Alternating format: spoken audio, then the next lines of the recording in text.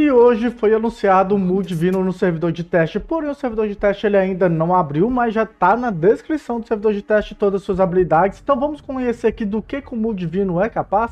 Então sejam todos bem-vindos a mais um canal do Nendi, Sanctuary Awakening, porque desta vez a gente vai conferir nesse primeiro vídeo de hoje, porque vai ter um segundo vídeo, do que esperar do Mood vindo, será que ele vai ser um DPS, será que ele vai trabalhar com o escudo, como é de praxe aí o signo diários. Vamos dar uma visualizada aqui na que foi traduzido aqui das suas habilidades do servidor de teste. E quando o servidor de teste estiver disponível e a galera começar a apresentar aí as gameplays dele, eu vou trazer um novo vídeo. Então fica ligado que hoje deve ter dois vídeos. Então vamos lá conferir inicialmente as suas habilidades.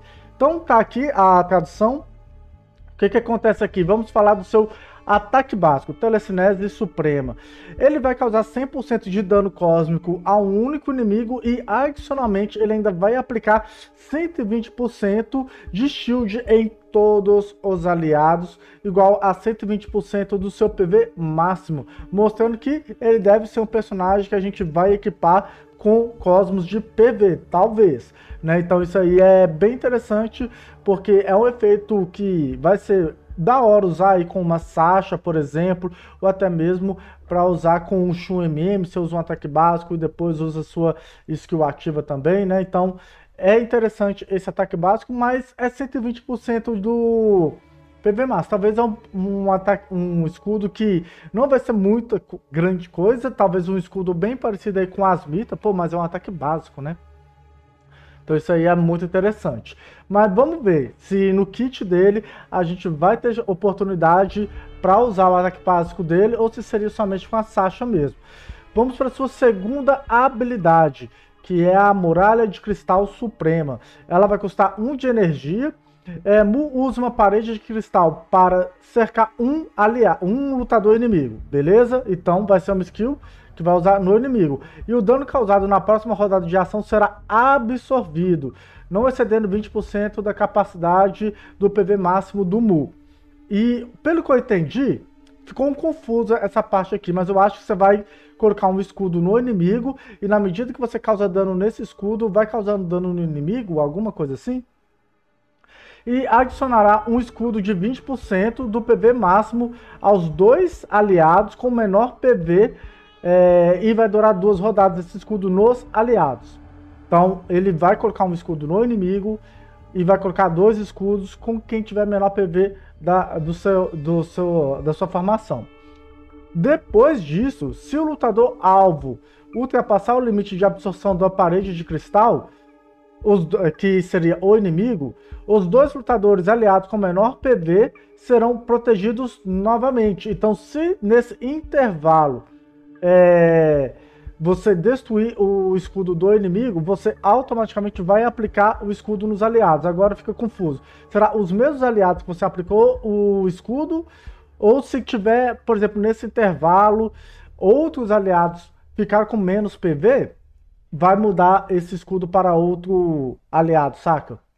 A Altanatos dá um ataque lá, e aí aqueles que estavam com o escudo ficar com mais PV do que outros, enfim, existe várias chances aí, ou você curou aquele aliado, ele não está com menor PV mais, então tem essa dúvida por enquanto aqui no texto, tá ok?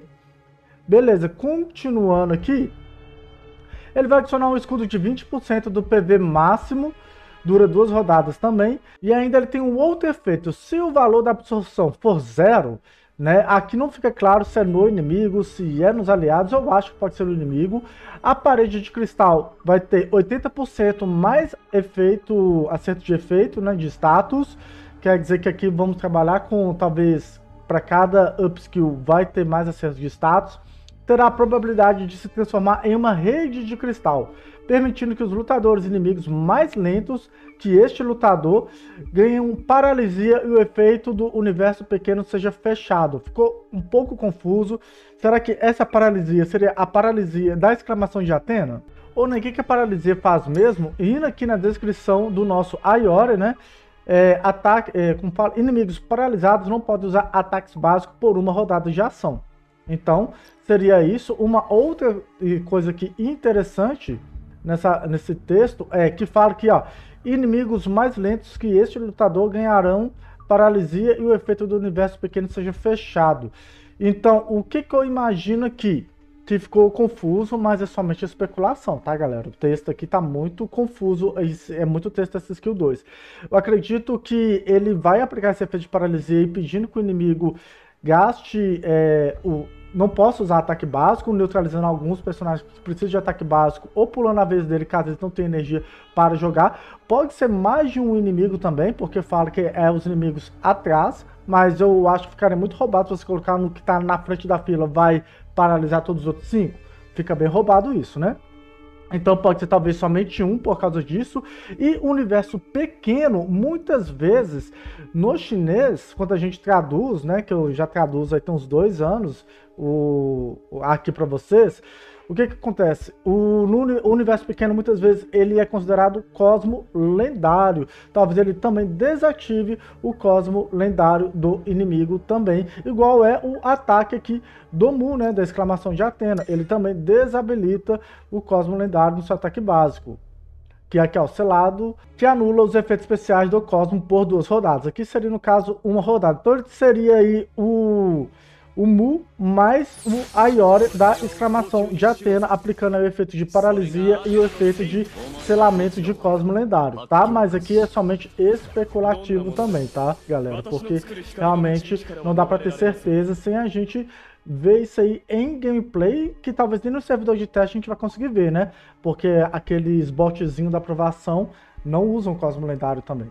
Então vamos recapitular aqui a sua skill 2. Você vai gastar 1 um de energia, você vai selecionar um inimigo e vai aplicar uma espécie de um escudo nele, que eu acho que esse escudo não vai neutralizar o dano que você vai causar nesse inimigo, ok? Vai talvez contabilizar o dano causado nesse inimigo, como se fosse a semente da Persephone tá certo? E beleza. Automaticamente você também vai colocar um shield nos seus aliados, 20%, né? Sempre baseado no PV do Mu, tanto no inimigo quanto nos seus aliados também. Ok. Caso você destrua aquele escudo lá do inimigo, causa mais de 20% né, do PV do Mu no inimigo, você vai renovar aquele escudo nos aliados também, ok? Mais 20%, ou seja, ele poderá aplicar aí até 40%. E caso você não cause dano no inimigo, ele vai receber um debuff, né, que vai ser a rede de cristal, que vai permitir que os lutadores que jogarem depois, né, as unidades inimigas jogarem depois daquele alvo que você selecionou, eles vão ganhar a paralisia e a anulação de cosmo lendário. É uma habilidade aqui que aparentemente não me chamou muita atenção, lembra até a muralha de cristal aqui do Mu, só que focado em dar mais sobrevivência a dois aliados. Mas vamos ver o que, que ele vai fazer a mais aqui, que é a sua Starlight é, Extinção Estelar Suprema. Vai ser de custo 2, então uma outra habilidade ativa. Ele vai reunir o poder das estrelas com força total e vai causar dano a todos os inimigos. Qual que é a quantidade de dano? O ataque telepático de Mu Divino causa 200% do dano da, de telecinese, que no caso deve ser o dano de cósmico, e causa um período adicional de dano real do valor total do escudo mais 20%, não excedendo 40% do PV máximo nesse processo a todos os inimigos. Então aqui não fala da onde que vai ser calculado esse escudo. Eu acho que esse escudo pode ser calculado tanto dos aliados quanto aquele escudo que você colocou no inimigo. Beleza? E tem um limite máximo de 40% do PV máximo do Mu e é dano verdadeiro. E o Mu vai ser um personagem que vai ser equipado com cosmos de PV. Então ele vai ter um PV muito alto também, podendo chegar aí, sei lá, ele talvez ele possa ter... Vamos pegar como referência aqui o nosso Aldebaran Divino, né? Vamos calcular aqui o PV dele. Então, pegando o meu Aldebaran 98 mais 19 vezes 2, né? Porque nos duelos galácticos, para quem não sabe, dobra o PV. Então, 234 mil aproximadamente com o meu Aldebaran Divino vai ter. Se ele tivesse a mesma quantidade de PV do Aldebaran Divino, que a gente está vendo que esses últimos personagens estão lá beirando os 20k de PV, inclusive, então 40% ele poderia causar aí 93 mil de dano verdadeiro em todos os inimigos. Então ele vai ter esse potencial de dano aí em área também com um teto 93 mil. É um dano até interessante, lembra aí um pouquinho do ataque em área do Tanatão, por exemplo, né? Só que lembrando que além disso ele tem os escudos em campo também, né? Tem três escudos, normalmente um no inimigo que você vai aplicar e dois nos seus aliados. E ainda tem os escudos do ataque básico, caso ele consiga utilizar o ataque básico fazendo um combinho bem interessante com o Shun MM. Que com o Shun MM, você, ou você pode colocar o escudo tanto no inimigo, só que aí você vai precisar de energia bastante, né? Você vai precisar de 5 de energia, 6 de energia para fazer esse combo. Ou fazer aquele combo que a gente faz com o Mu normal, né? Deixa o Mu divino é, bem rápido e o Shun MM bem lento, que aí no final da rodada 1 passa lá pro, pro Mu. É uma coisa bem complicada isso daí, mas enfim, mas você pode utilizar o ataque básico também do, do Mu e depois usar a sua skill 3 para causar bastante dano, já que ele vai colocar bastante escudo com seu ataque básico também, talvez possa ser superior aos 40% do PV máximo dele, assim ele podendo causar dano máximo e é isso, né? Então vamos ver como que vai ser esse potencial de dano dele aqui. Mas realmente a skill 2 dele tem um lance de você acabar com o escudo. Então é um pouquinho complexo, tá aparecendo essa gameplay dele inclusive, né? Mas vamos continuar aqui, que agora faltou a sua passiva, sua skill 4. Um lutador aliado com escudo, excluindo escudos especiais, né? Do, de outros personagens, eu acho eu acho que ele não vai ter interação com outros escudos, criará um alto escudo adicional para um lutador inimigo no final da rodada de ação. Tá, pelo que parece aqui, ele vai criar um escudo nos inimigos, um escudo especial também, né? Não é para ficar absorvendo, ok? Essa parte aqui ficou muito confuso, mas vamos lá. Chegou a vez do Mu, beleza? Ele jogou, usou seu ataque básico, um skill 2, enfim, passou a vez dele. Ele vai colocar o escudo no inimigo, beleza? Isso aqui é um efeito passivo. Ele vai, depois que ele jogar, ele aplica esse escudo no inimigo, tá? 25% de dano real. O dano mínimo é o ataque do Mu divino. 100% não excedendo 150% do ataque do Mu Divino. A taxa de dano, mais 20% após cada grande rodada. Então ele vai aplicar esse escudo no inimigo.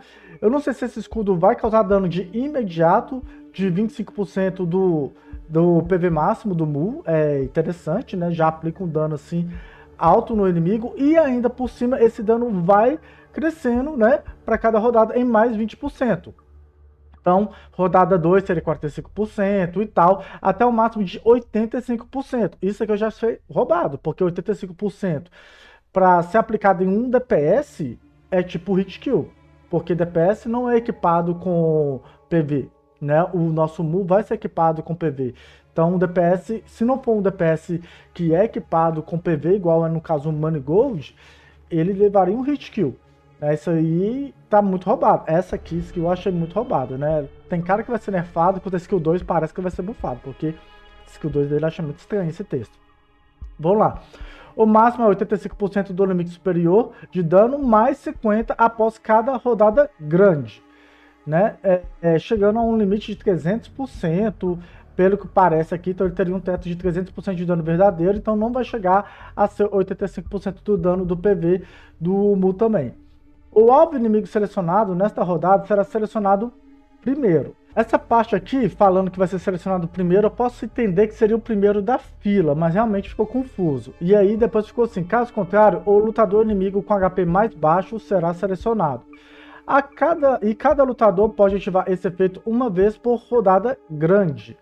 Mu ganha um valor de escudo adicional com base em 40% do valor do tratamento recebido, até o máximo de 40% do PV máximo dele também. É muito confuso essa habilidade, tem muitos multiplicadores aqui também, os multiplicadores que está um pouquinho confuso, mas o que que acontece? É, pelo que eu entendi, quando o Mu jogar, ele vai colocar um escudo no inimigo, esse escudo eu não sei que momento que vai causar dano, se é de imediato mesmo no inimigo, você tem que esperar a vez do inimigo para causar esse dano também. Aparentemente ele pode colocar esse escudo no primeiro da fila ou em que tem o menor PV, que seria muito mais roubadinho, né? Colocar que tem o menor PV para que fica mais fácil dar hit kill aí no inimigo também. E além disso, ele vai ganhar escudo, né? Baseado no dano causado também, que não pode exceder 40% do seu PV máximo. E ainda por cima, ele tá com a nota aqui que ele vai ter um bug, né, na sua skill 4, né, que ele vai aplicar esse escudo